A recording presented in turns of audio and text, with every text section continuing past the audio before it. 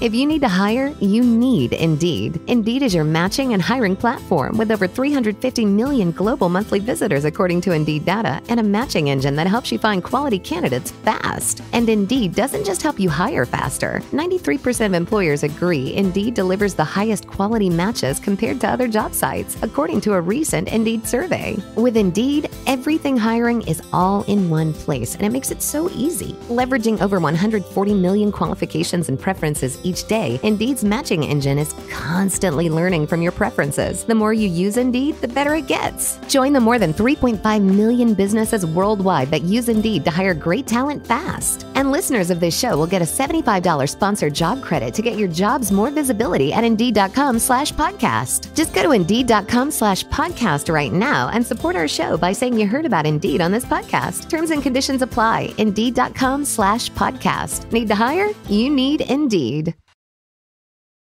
Sugar Coated Murder is proud to be a part of The Oracle Network.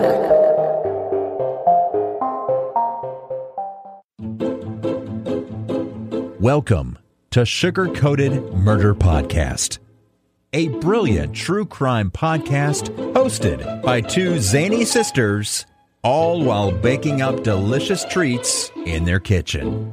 Here are your podcast hosts, Karen Devaney and Ann Varner.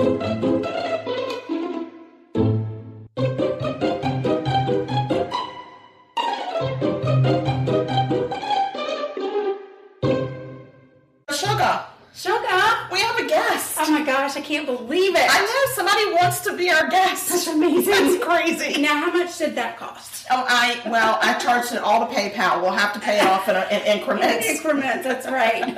yes, today we have Liz with us, and Liz has a great podcast. It's such a positive, uplifting, informative podcast called Coffee Convos with Liz. Is that right? I got it all, all the words in the right places? Yes, you did. Coffee and Convos with Liz. Absolutely. Well, Liz, do you want to tell us about yourself a little bit? What do you want people to know? Awesome. So I am super excited to be here um, and be cooking with you guys. And my podcast, Coffee and Convos with Liz, which can be found on podcasting platforms or my website, coffeeconvosliz.com. And I talk with friends, leaders in the community, and just really anyone who's really um, great at having conversation about politics, wellness, activism. And it's really a safe space to talk about positivity, to really talk about issues that are important to people, as well as connecting people with resources. So that's pretty much it. So if you want to be on the podcast, if you have a message and you want to share it, like let's message me, reach out to me. Yeah, um, I've seen a couple of your episodes, a lot of your episodes. I've, I've actually gone on and watched you live stream, which I really enjoy doing. And so you've had a lot of um, really interesting guests, and it's a wide variety. I like the diversity of the different guests that you have. So it's not all just kind of people that just have one message. So that's kind of interesting. So Absolutely. yeah. Well, today what we're going to do with Liz because she's going to slay in the kitchen. Yay, Liz! We're actually doing apple pie tacos. What? I know it's it looks fun. I think it's going to be pretty easy. I think, Liz, I will tell you that I shortcutted my taco shells. I don't know if it's going to make a difference. We'll see. I actually baked them in the oven. I was trying to be a little bit healthier. I know.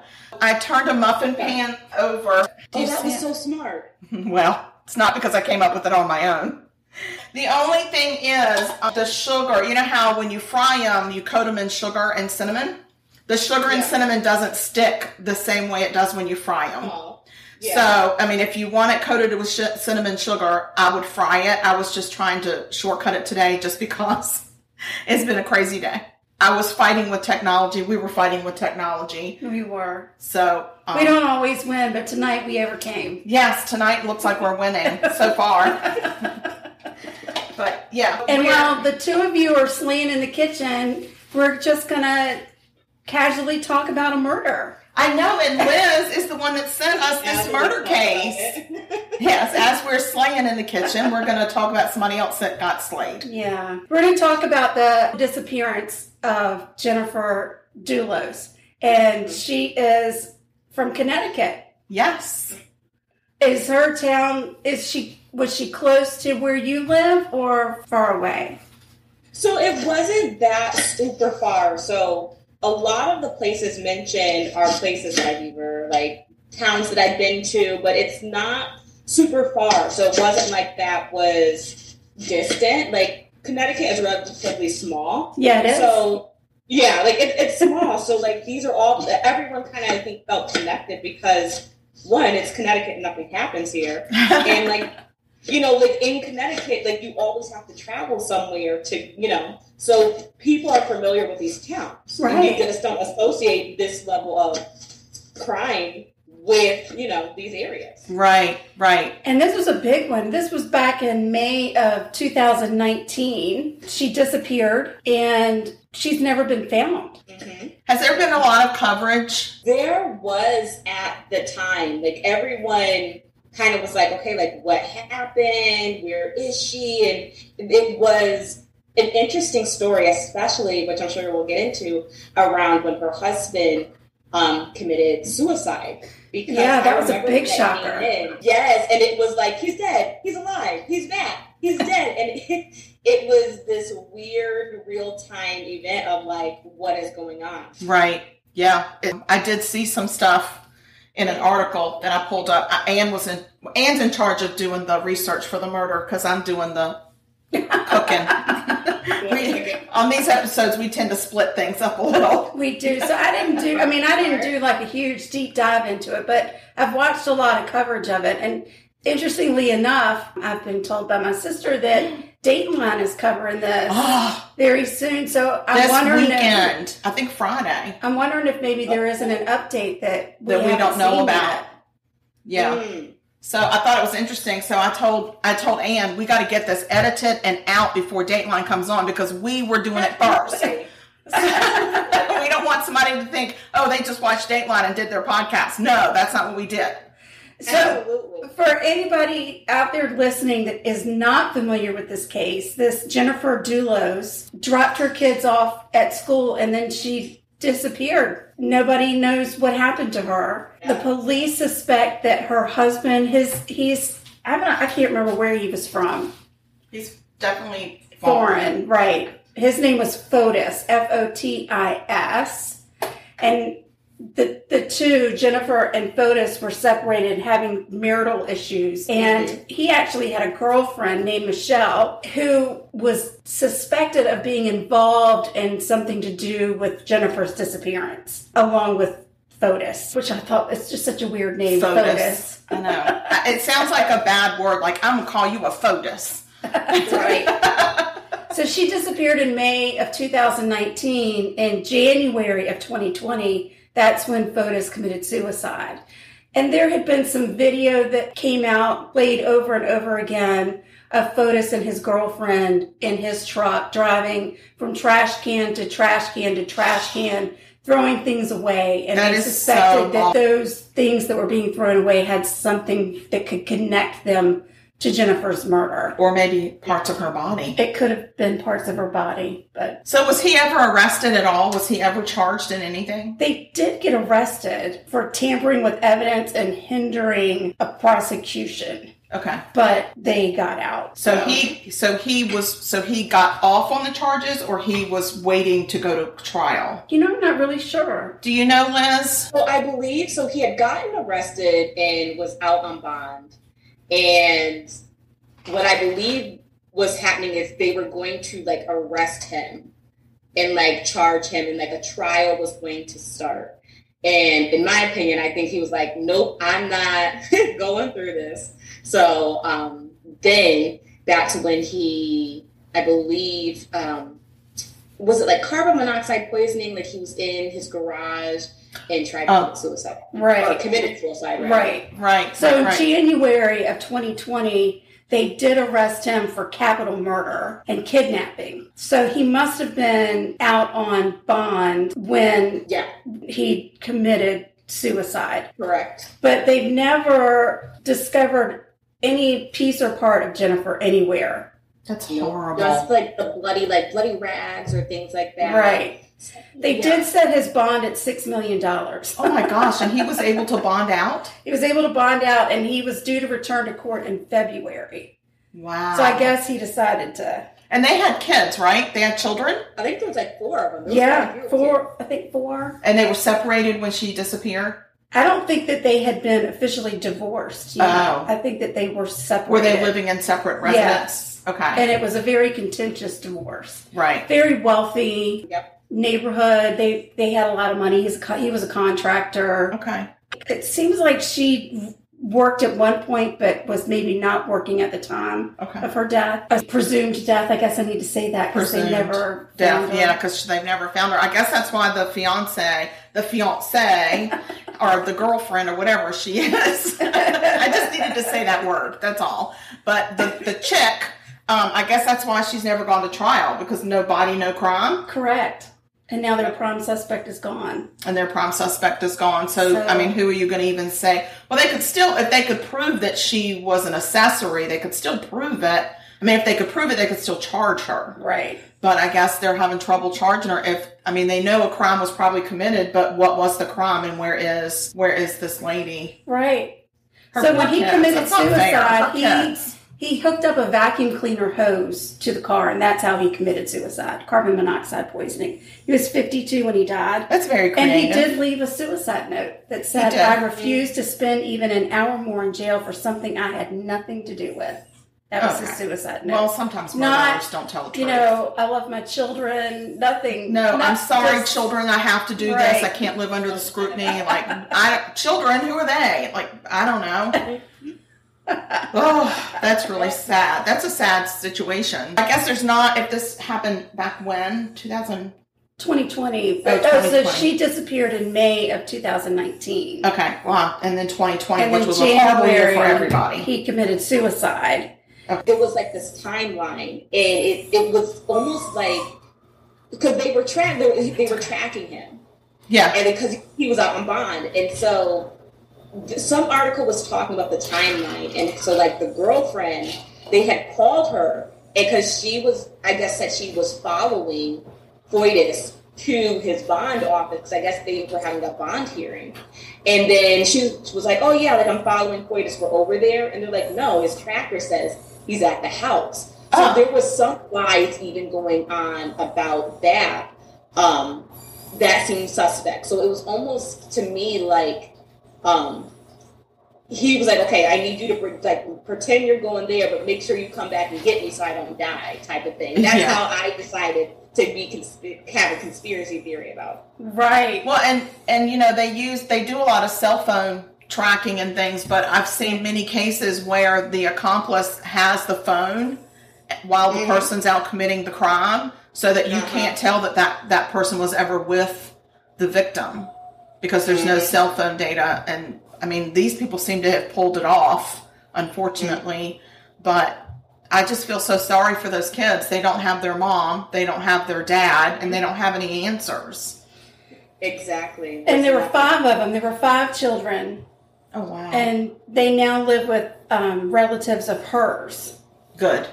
So that's good. That's good. But yeah, I mean, they're without either parent.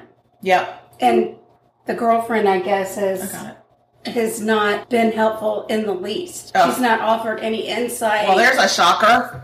right. She has no incentive to. She's got nothing to say. Mm-mm. She's probably moved on and has another boyfriend. Oh, I'm sure of it. All right, Liz, where are you on your apples? All right, so they are bubbling, bubbling. They're getting soft. They're getting soft. They're bubbling. Mine are too.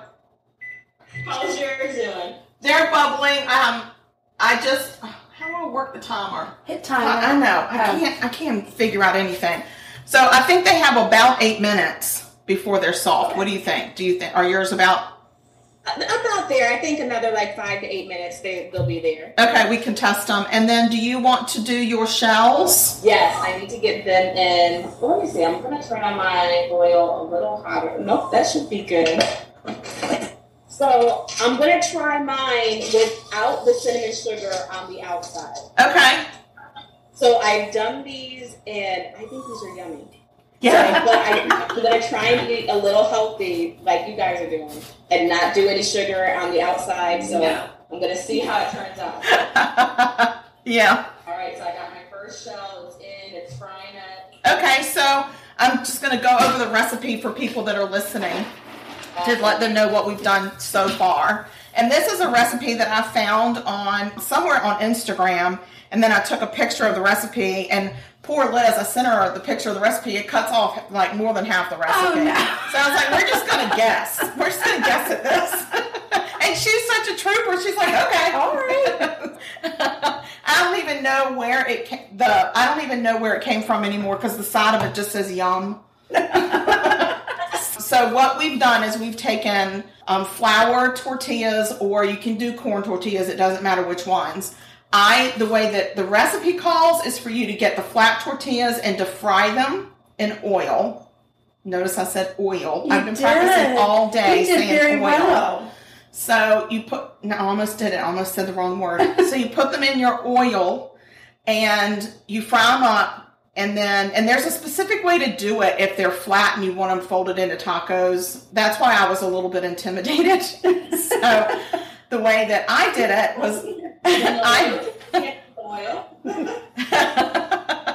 I just flipped. I I flipped over a muffin tin and I went in between the indentations and just took these little street flower street tacos that I bought and and set them in there and then put them in an oven Um, on 375 for about eight to ten minutes. It might have been 12 until they start to brown. So, however you do your taco shells, when you have them hot, you put them in a you roll them in a concoction of cinnamon and sugar and you make a cinnamon sugar however you want the ratios to be Right. but it needs to be a half a cup is what they said i did not use the full half cup but you roll them or i put them in a baggie and shook them very gently so to coat them it didn't stick well to mine because there's no oil oil there's no oil if you have oil it'll, it'll coat it a lot but if you bake them then you're not going to get very much of a coating but i think you get a bit, little bit of a flavor in there Right. what you also do is you cut up four to six apples. You can use, I used Honeycrisp. I used three Honeycrisp and then I threw in one Granny Smith just to give it a little bit of tartness. You put that mm-hmm. in a pot and you put a half a cup of water in there and two teaspoons of cinnamon and a half a teaspoon of net, nutmeg. And you put that in your pot with a half a cup of sugar. And then you mix it all together and then you put it on medium heat for about 10 minutes and it's going to bubble. I, I put it on high first so I could get it rolling, and then I turn it down, and that gets them soft. And then, I mean, easy peasy, Mac and cheesy. mac and cheesy, but we're having apple taco ease. Then you just spoon it in there. You spoon it, you spoon the mix into the taco. Oh, Like, how fun is that? that is so fun. You can top it with ice cream, Yum, Cool Whip, yum, Reddi-wip, yum. or homemade whipped cream. Bingo. I'm going to show Liz how to make homemade whipped cream in a mason jar. Very nice. because this is one of our tips. This is one of our tips. Um, I'm not sure if you realize this. I hope our listeners realize it by now. But on, she's going to say something if I say her. She will. Okay, yes. on your Echo Dot that starts with an A. if you go into your app on your phone and you you can actually go in and I don't remember what they're called. slaying in the kitchen. Yeah, but what are the what is that called? Oh. She's already. Here's your reminder. Oh, Oh, she's reminding me to Yeah. take the trash out, even though I specifically requested that she not remind me to take the trash out. yeah, tonight. she's got a mind of her own, doesn't she? She's very stubborn. And here's your reminder. Golly day, there she goes again. She is something else. She's got an attitude. She does have an attitude. She that knows we're talking about her. You can go on and you can download Slaying in the Kitchen and you can ask the A person every day to play your Slaying in the Kitchen and you will get a tip from me or Ann on just like tips on measuring things, just tips and tricks and, and shortcuts on the A word for your kitchen. And it could be, I mean, it's so this was one of the things that we actually put on there is how to make whipped cream in a mason jar. Yes. I'm gonna go get my ingredients. And while she's doing that, I'm going to go. I'm gonna make some pie. All right, going back to the disappearance of Jennifer, just a little bit of background on Fotis. You we we call him Fotis, and you call him Foitus. Foitus. So I'm I'm sure you're right, and we're completely wrong because we never get the names right. But he is uh, originally from Turkey and was raised in Greece. And Jennifer and Foitus met at Brown University in Rhode Island. They, I think it was like 2017 when they got together and got married. And she was a very well known author, she was a writer. She had a blog that a lot of people followed, you know, mom, a mom blog. She had two sets of twins. So that's the first four. and then they Wow. had another baby. Then they had another one they added on that wasn't enough. Right. Wow. So sets of five of them. And she's actually from a very prestigious family. She's from New York originally. And they had been mm-hmm. going through a very bitter divorce and child custody battle. She found out that he had been seeing other people. And that's bad. You can't do that when you're married. You can't. You're not supposed to. it's very bad when you It do makes that. the other person very angry. It does. and Just a little bitter. bit. Yeah, and so that's how you get a contentious divorce. You're supposed to mm-hmm. divorce first and then go find your other person. Right. But he did it in the wrong order. Okay, Liz, what I have is one mason jar that I put in the refrigerator and I got it cold. Okay. But you don't have to. But it's just a thing I do. It's just a thing. Right. Okay, I have heavy whipping cream. Okay. Okay, I'm going to pour heavy whipping cream and I'm not even going to measure. This is like, this is a half pint. I'm probably going to pour half of it in there. But that's the nice thing about doing this in the mason jar is you can do it for just yourself if you want fresh whipped cream. It's so easy. You can turn it off. turn it off. Yeah. I'm going to pour about half in there. See? And then I'm going to add to it about two tablespoons. Oh, hi. Holly, dang. Glasses don't work either. About two tablespoons, it's sad. Two tablespoons of powdered sugar. Okay, let me get the powdered sugar. And I love powdered sugar because it goes all over my kitchen, or my sister's kitchen, not mine. All right, how much powdered sugar? I did two tablespoons. Okay. Pour a little bit If. I don't measure, is that bad? No, No, not at it's an all. all an eyeball situation. You really are going to do it more to taste. Some people don't put any powdered sugar in their whipping cream. I I, think like that's that. godlessness. Yeah. Because that's just milk. All right, I got it in there. Okay, now, is this our good bottle? That's the good bottle. That's there. the good bottle. Okay, now I'm going to do a half teaspoon of vanilla. This is also optional. You don't have to measure. You can eyeball it. It doesn't take a lot of vanilla. It's what I would call a titch. And I'm going to show you. This is our killer vanilla in the process of fermenting, and we we make this ourselves and we sell it. Okay. Yep, it's homemade and it's made. We make ours with bourbon. A lot of vanilla is made with vodka. We like bourbon, so we use. But vanilla extract has it's made with alcohol and vanilla beans. Okay. We use our favorite bourbon because we like to drink it. So I'm gonna put I'm gonna put a little bit of that in there, just a little bit of vanilla. I did a half teaspoon. You can do a quarter. You can do a full, whatever, just whatever your little heart's desire. And I'm just gonna say that you don't have the killer vanilla, so yours isn't gonna be as good, but that's okay. Listen, I saw that killer vanilla. I was like, hmm, I'm missing out. I know what I'm putting on my Christmas. I'm gonna do this. Don't shake it down low. Don't go. Don't go. Don't low. don't go the low one. Right, let's go with that. Yeah, we go high. We go out to the side and get those bat wings that we all grow. yeah, it's good for my shoulder because I've had shoulder surgery, so it's good for my shoulder. Yeah, That's funny. yep. I mean, who knew this could be such a workout? Liz, tell us a little bit more about yourself. Are you uh, originally from Connecticut? So I have been in Connecticut, born and raised. I spent some time down south in like South Carolina. Um, What? well, I'm sorry, no, I'm sorry, North Carolina. When I was little, little, little, little, Brevard, North Carolina. Okay. I was there like three to age five, like I was super little. Um, then came up here and have been up here, been a Connecticut girl. Um, New England, true and true. You don't have any accent. Do people in Connecticut have like really thick accents normally, or just no accent? So some people say that we have an accent because we just talk different than everyone, like how we pronounce. Now, our accent in Connecticut isn't like Boston or New York as pronounced. Okay. Um, so and we don't have like a cool accent. like. So we're, we're just like New England. Yeah, because people can understand you though. Yes. Everybody can understand. I would say that your accent is a clean accent because everybody can understand what you're saying. You don't need subtitles.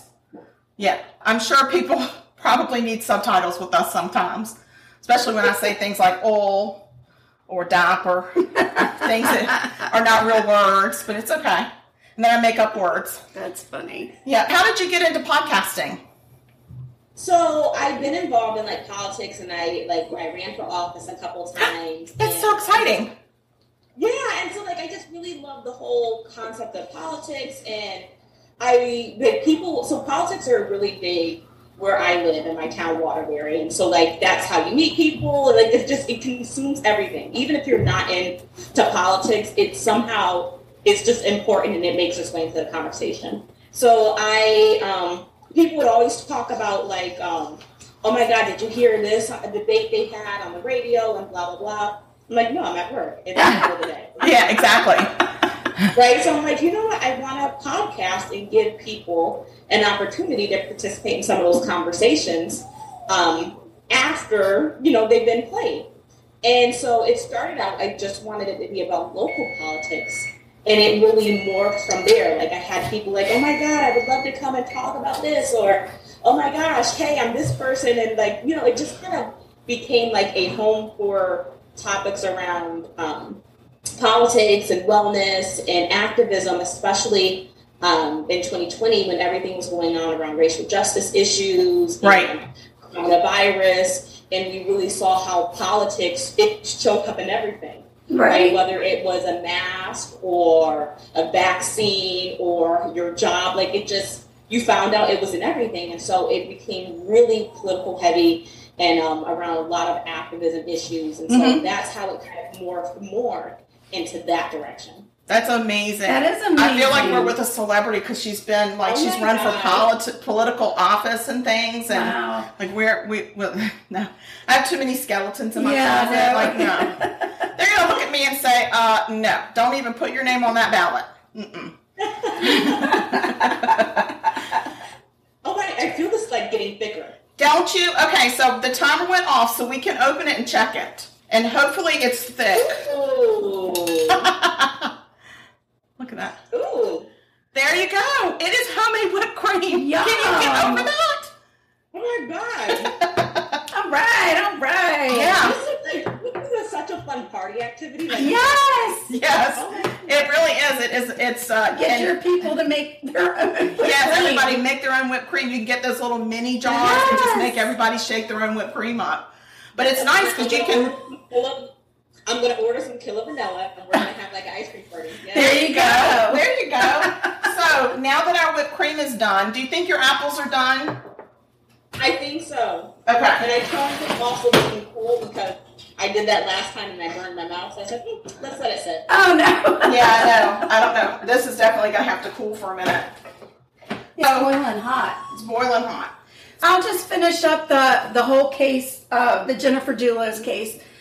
The last information that I saw out there, the attorneys for Foytis's girlfriend were filing a motion that had something to do with her getting charged and being read her Miranda rights in English when mm-hmm. Oh. her her native or she her language of choice is Spanish. Okay, so maybe that's her first Oh. language. Yeah, so I know she was like she did some news reporting for ESPN in South America, Oh. but I don't I never could really find out where she originated, where she is from. Mm-hmm. I guess if I looked really hard I could probably figure Maybe it like- out, but Venezuela or something. could be, could be.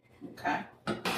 But her sisters have come out and said she doesn't have she doesn't have anything to do with it. But I thought it was really interesting because I watched uh, I think it was a 48 hours that I watched way back when when the reporter asked the sister Did your sister have anything to do with it? Does she know where Jennifer is? Yeah. His sister responded, Of course, she didn't have anything to do with it. Okay. Okay. But she never answered the question of do you, does she know where Jennifer is? Right. I thought that was kind of interesting. So it, it'll be nice when the new dateline comes out to see if there's any new information on the case. I don't know where they could possibly go with it unless Something's happened. something's happened. I agree. I don't. We'll have to we'll have to watch, but hopefully everybody will have listened to this first. Yeah. I don't want anybody on Dateline scooping us. So, Absolutely. all right, so I went ahead and put some apples in my taco shells so that I could maybe let it cool, surface cool a little bit. Mm-hmm. What I sh- if I if I had thought about it, what you should do is you should take a cookie sheet and you should put your apples on it and spread them out because then that it'll cool. They'll cool individually a little bit better. But I didn't think about it. That's another tip from slaying in the from our slaying in the kitchen. oh, that's right. Yeah, so um, it was on how to cool pasta without having to run Oh. water over it and how to cool it fast without having to put it in cold water. Oh my gosh, it's so smart. you spread it on a cookie sheet. Um, Oh my gosh, yeah. we really are so smart. We're very smart sometimes.